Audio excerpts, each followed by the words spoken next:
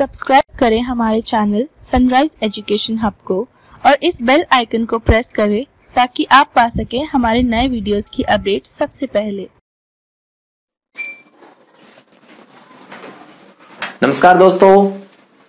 पिछले वाले वीडियो में हमने चर्चा की थी सामान्य विज्ञान के टॉपिक के बारे में। अपना टॉपिक था भौतिक परिवर्तन और रासायनिक परिवर्तन। तो भौतिक परिवर्तन के अंदर हमने क्या अध्ययन किया था कि भौतिक गुण में परिवर्तन हो जाता है। और रासायनिक परिवर्तन में हमने पढ़ा था कि रासायनिक परिवर्तन है, वो एक स्थायी परिवर्तन है। मतलब इसमें एक नए पदार्थ का निर्माण होता है।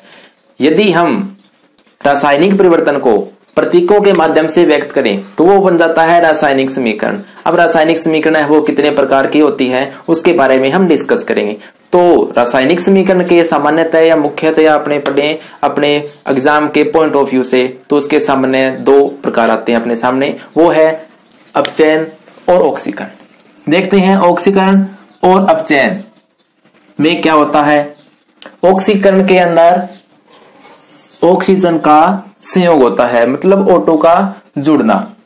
यदि किसी तत्व के साथ ऑक्सीजन का संयोग होता है तो वो जो अभिक्रिया होती है, वो होती है ऑक्सीकरण इसमें समीकरण में देखें तो S plus O two is equal to बन रहा है SO2 मतलब इसमें सल्फ़र के साथ O2 यानी ऑक्सीजन का संयोग हो रहा है। इसलिए ये जो समीकरण है, वो है ऑक्सीकरण और क्या होता है कि ऑक्सीजन में देखें तो ये एक ऋण विद्युती तत्व है।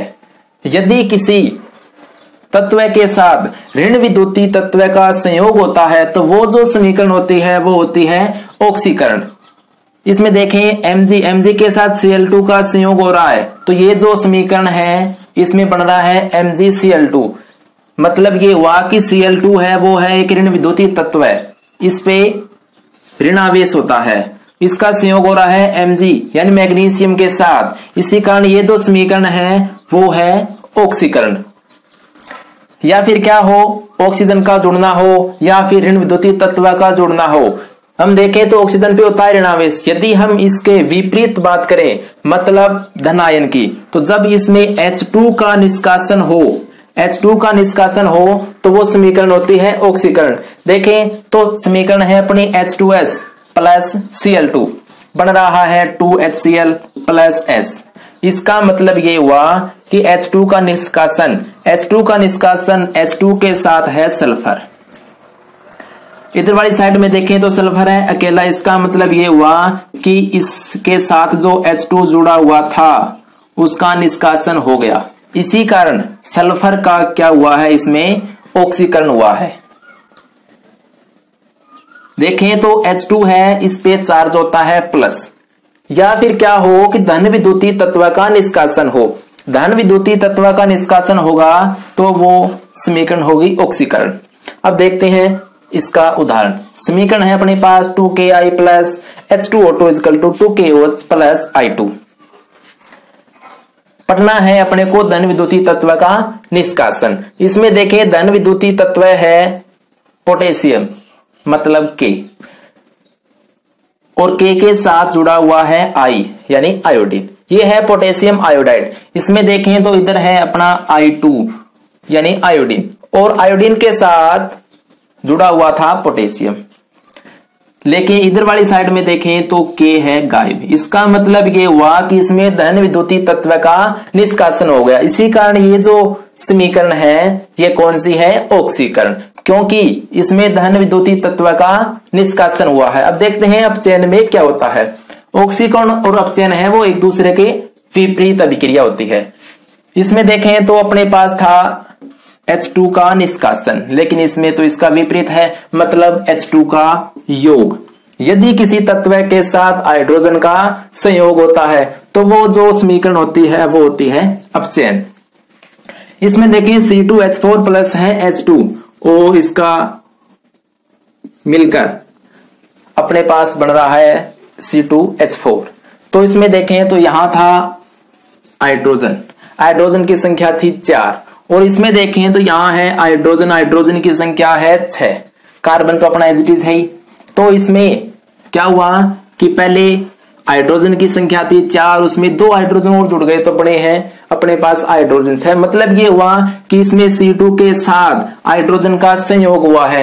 और यदि किसी समीकरण में हाइड्रोजन का संयोग होता है तो वो अभिक्रिया होती है अपचयन। देखें तो हाइड्रोजन पे अपने पास चार्ज होता है धन मतलब प्लस चार्ज होता है। और आगे है, धन विद्युती तत्व का संयोग होता है तो वो समीकरण होती है, वो होती है अपचयन की। देखिए C U C L two plus C U is equal to बनना है C U two C L two पढ़ना क्या है अपने को कि धन विद्युती तत्व का संयोग, देखते हैं इसमें धन विद्युती तत्व का संयोग किस प्रकार से हुआ है। इधर देखिए सी यू ये भी धन आयन है सी एल टू है, ये है ऋण आयन। यहाँ देखें तो ये सी यू है। कोई चार्ज नहीं है इस पे। आगे देखें तो ये है C U two C L two C L two तो पहले भी था। सीयू मतलब कॉपर भी पहले था, लेकिन पहले अपने पास कॉपर की संख्या थी। एक यहाँ है कॉपर दो। इसका मतलब ये हुआ कि सीयू का इसमें संयोग हुआ है। और सी यू होता है, वो एक धन विद्युती तत्व होता है। इसका मतलब ये हुआ कि समीकरण के अंदर धन विद्युती तत्व का संयोग हुआ है। इसी कारण ये जो उदाहरण है, वो किसका है? अपचयन का है। ऑक्सीकरण के हमने पढ़ा था कि O2 का संयोग हो तो वो होती है ऑक्सीकरण अभिक्रिया। इसमें इसका विपरीत है। यदि O2 का निष्कासन होता है तो वो समीकरण होती है अपचयन की। देखें, इसका उदाहरण तो है C U O plus H two बन रहा है C U plus H two O पढ़ना अपने को है भी O2 का इसमें निष्कासन किस प्रकार से हुआ है। इसमें देखिए सी यू ओ कॉपर के साथ जुड़ा हुआ है ऑक्सीजन इधर देखें तो कॉपर तो है अकेला ही। इसका मतलब ये हुआ कि यहाँ से O2 यानी ऑक्सीजन का निष्कासन हुआ है। इसी कारण ये जो उदाहरण है वो किसका है? अपचयन का है। देखें तो ऑक्सीजन है इस पे चार्ज होता है माइनस मतलब ये होता है ऋण विद्युती तत्व। तो यदि किसी समीकरण में ऋण विद्युती तत्व का निष्कासन होता है तो वो समीकरण होती है अपचयन की।